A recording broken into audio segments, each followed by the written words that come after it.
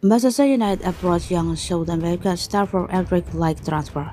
Manchester United made an offer to sign South American youngster Kendry Paez this summer, according to Ecuadorian media. It's reported in Sport Witness.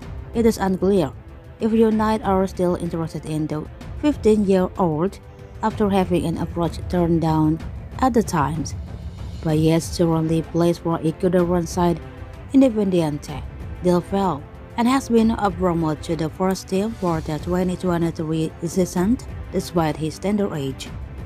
Described as dual, the midfielder is attracting interest from across Europe.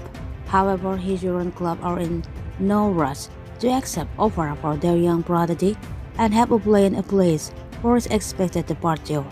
It's reported Paez will not be able to leave Ecuador for Europe until he is 18 years of age in any deal that may be done before then we'll see him stay at Del Valle until that time.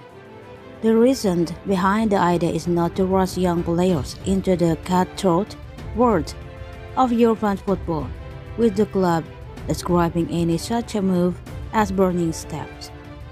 Del Valle instead they want Paez to be ready both physically and mentally for any high-profile move before they negotiated this transfer. This kind of a deal meant place for South American youth players with a high profile. Recent example coming with Endrick's mega money transfer for Real Madrid. Enrique 16 has agreed his transfer to the Spanish Giants, but he will stay at current club Palmeiras until 2024.